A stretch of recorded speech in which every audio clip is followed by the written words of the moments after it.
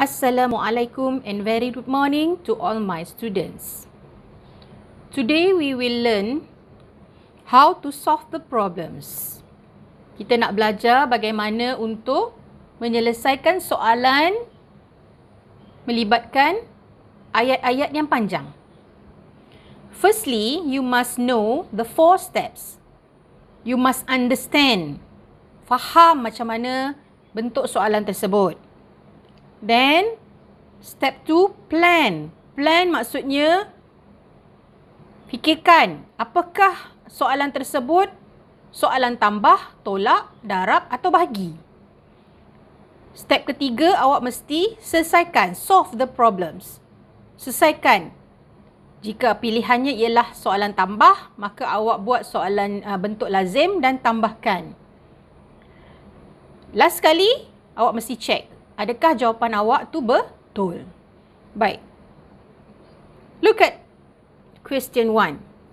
The ticket sales of a football match on the first day is 5426 ringgit and 70 cent.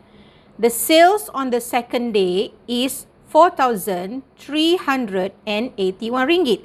Calculate the total sales for both days. Okay. Baik, daripada soalan tersebut, apa yang kamu faham? What you understand? Alright.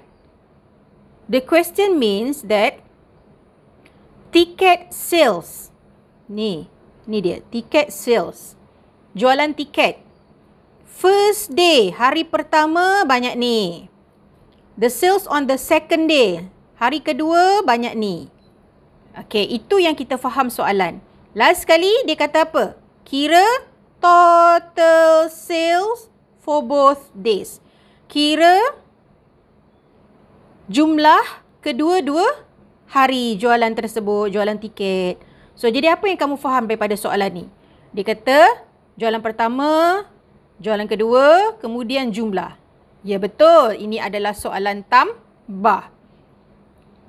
Untuk number sentence dia, ayat matematik dia macam mana kita nak tulis? Kita kena tulis RM plus yang kedua. Ha, itu adalah ayat matematik. Kemudian di sini kita buat apa? Kita buat bentuk lazim. Okey. Pastikan awak susun betul-betul eh.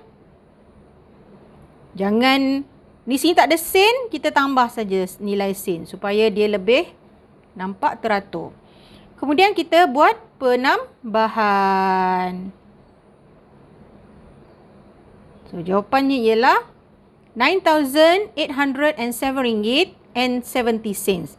Cents. So the total sales for both days is, okay tulislah jawapan.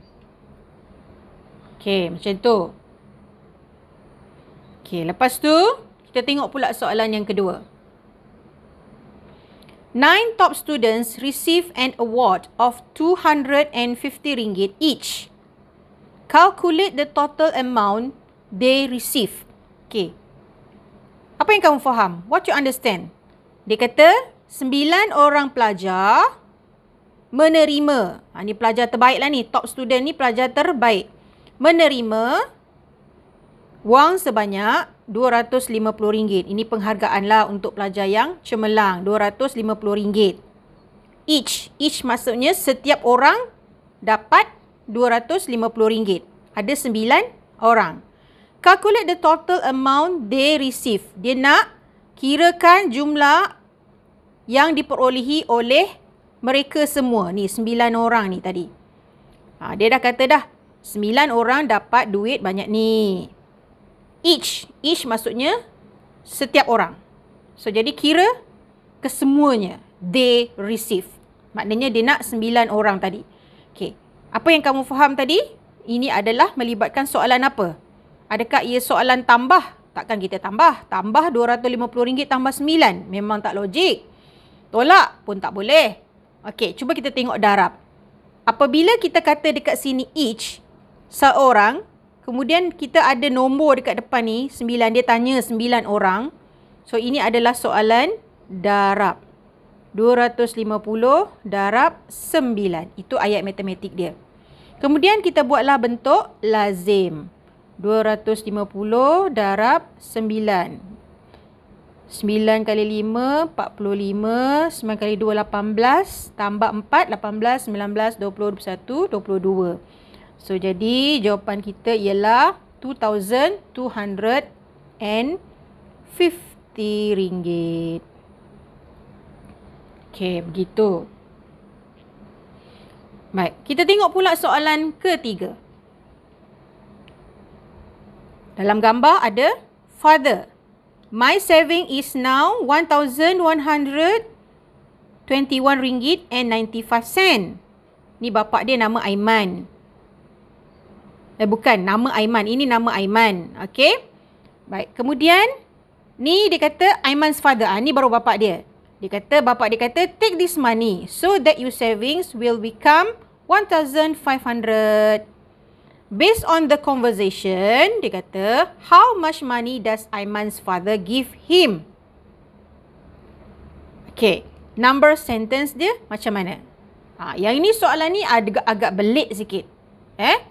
Kalau awak tengok, yang ini jumlah simpanan Aiman. Kemudian bapak dia kata, ambil duit ni. Dia kata so that you saving will become 1500 dia kata awak ambil duit ni nanti duit simpanan kamu Aiman akan berjumlah 1500 tapi kita tahu tak berapa jumlah bapa Aiman beri? Ha kita tak tahu. Kita cuma cuma tahu dia kata ambil duit ni take this money kita tak tahu berapa jumlah duit yang bapa dia beri okey untuk soalan macam ni, kita mulakan dengan number sentence dia. Ini duit Aiman. Okay. Kemudian kita tak tahu berapakah jumlah take this money ni. Kita tak tahu berapa jumlah duit bapak dia beri.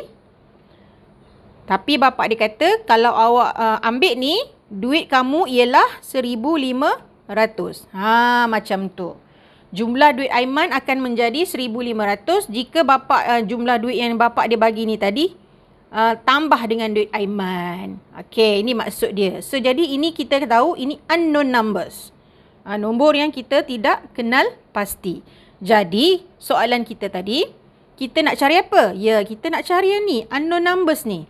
Dia kata, berapakah Aiman's father give him? Uh, how uh, how much? Maknanya berapa jumlah yang Aiman's father give him.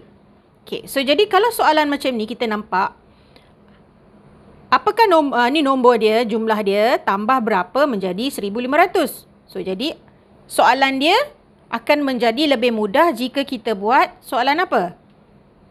Soalan apa murid-murid? Soalan tolak. Eh? Di sini tak ada sen, kita letak nilai sen kosong. Tolak RM 1121. Okey, ini duit Aiman. So, kita buat operasi tolak. Walaupun dekat sini tambah, tapi untuk memudahkan kita mendapat yang tanda soal ni, kita kena tolak dia. Ha, so, jadi, kita tolaklah macam biasa. Yang ni kosong-kosong. Eh, macam mana ni? Banyak sangat sifar. Ha, jangan lupa, ni basic kepada penolakan. Ni tak boleh, tak boleh, tak boleh. Okey, dari sini kita pinjam. Sini empat. Sini sepuluh. Betul? Kemudian, sini nak pinjam sini pula. Okey, sini jadi sembilan. Sini pula jadi sepuluh. Sini pinjam sini. Sini jadi sembilan. Sini jadi sepuluh. Ni pinjam sini pula. Sini pula jadi sembilan. Sini jadi sepuluh. So, sepuluh tolak lima, lima. Sembilan tolak sembilan kosong. Sembilan tolak satu, lapan. Sembilan tolak dua, tujuh. Empat tolak satu, tiga. Ni sifar. So, jadi jawapan dia, inilah dia jumlah duit yang Ah, bapa Aiman beri kepada Aiman. Ha, RM378 and 5 sen. Alright, we continue to number 4. Encik Kumar pays 10,000 to 8 temporary workers. Each of them receive the same amount of wages. Calculate the amount received by each worker number sentence. Ha, maksudnya dia kata Encik Kumar ni tadi bayar, pays, bayar ke uh, 10,000 kepada 8. Ah, 8 orang um, temporary workers maksudnya pekerja sementara. Okey. Dia kata each of them, setiap orang menerima jumlah yang sama. Amount, eh? jumlah yang sama. Kemudian dia kata kirakan jumlah yang diterima by each worker. Setiap orang tu dapat berapa? Okey. Kalau kita tengok soalan yang nombor dua ni tadi. Nombor dua ni. Kalau nombor dua ni, awak tengok beza eh. Ha, kalau nak tahu ni soalan apa eh, awak tengok beza. Ini. Ni soalan akhirnya dia kata they. Maknanya semua. Bila semua, kita darab. Ha, ni keyword dia. Ni they darab. Okey, kita tengok soalan ni pula. Ini soalan akhir dia, each. Akhir dia, calculate the amount received by each. Ha, bila each di akhir, keywordnya ialah soalan bahagi. Ha, yang itu awak kena tahu. Kalau punlah awak tak faham lah soalan tu sekalipun, darab ke bahagi ke. Eh? Ha, so, jadi awak tengok perbezaan tadi yang cikgu tunjukkan. Kalau soalan akhirnya D, darab. D tu maknanya keseluruhan lah. Ha, D ke all ke. Eh? Seluruhan kita mesti darab. Tapi kalau ayat akhirnya each. Each tu maksudnya satu. Atau one ke. Okay. So, bahagi. So, jadi kita punya number sentence. Ayat matematik ialah bahagi 8. So, jadi kita buatlah bahagi. Okay, CV 8. Siapa tak hafal, bolehlah buat CV ya. Ha. Ni satu tak dapat, satu sini. Awak jangan salah pula letak kat depan. Ni penolakan biasa ni.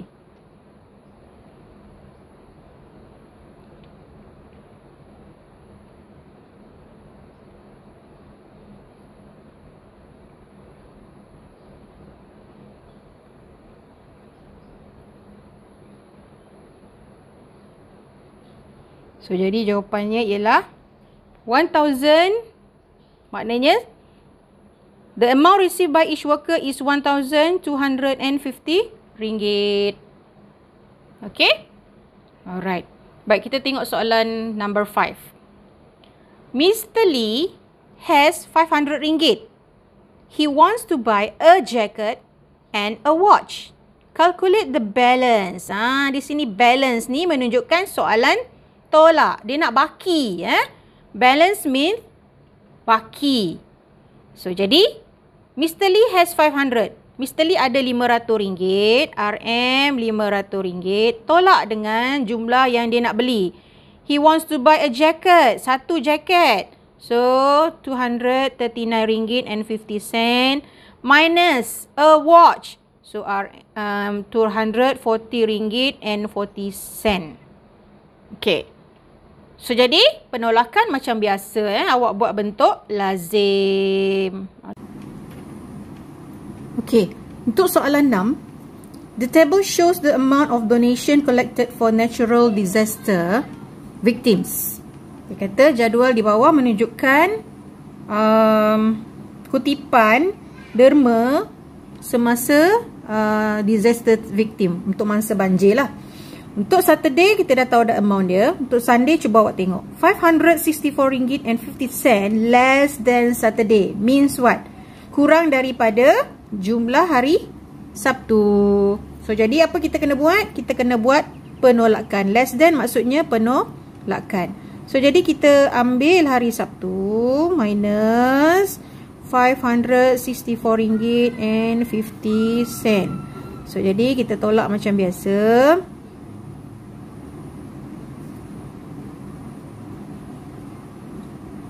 Okey, jawapan untuk hari Sabtu kutipannya ialah RM2,563.40. Okey. Calculate the total collection for both days. Maksudnya, kirakan jumlah kedua-dua hari. Jumlah kedua-dua hari di sini. So, bila dia kata jumlah kedua-dua hari, so soalan ni adalah soalan tambah. So, jadi ambil yang Saturday punya.